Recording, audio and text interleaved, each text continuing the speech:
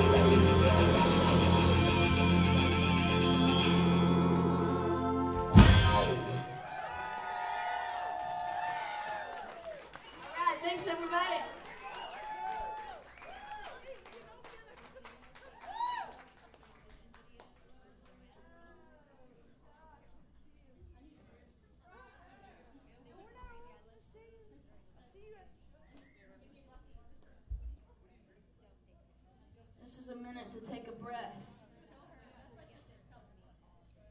Hey, sis.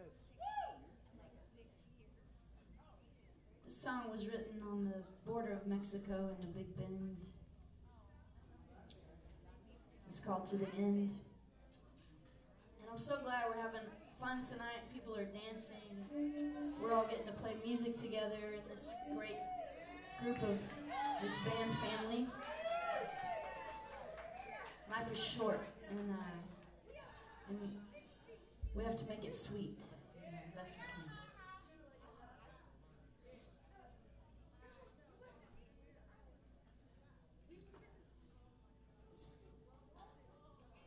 Mm.